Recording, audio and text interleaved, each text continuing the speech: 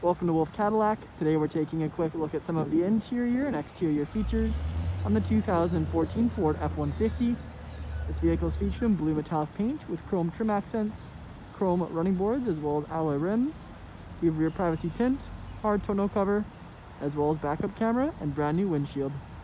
Now on the interior, we can see we have our chrome door handle, two-tone black and gray um, door panel, as well as our window and mirror controls, speaker and storage, to the side of the steering wheel, we have our lighting controls, gauge cluster, steering wheel with steering wheel cover, as well as our cruise control and radio settings located on the steering wheel.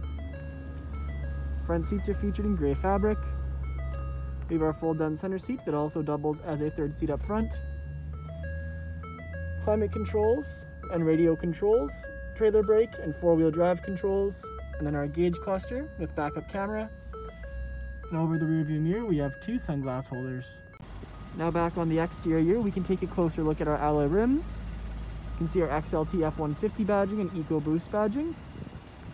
We have our chrome running boards, rear privacy tint and chrome door handles, XTR 4x4 badging, chrome rear bumper with hitch, then Ford badging, and our hard tonneau cover.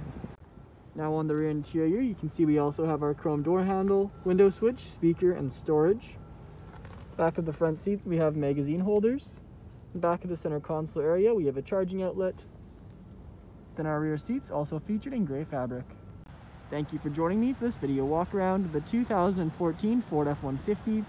Please subscribe to our YouTube channel for more daily videos, and we hope to see you in at Wolfe Cadillac sometime very soon.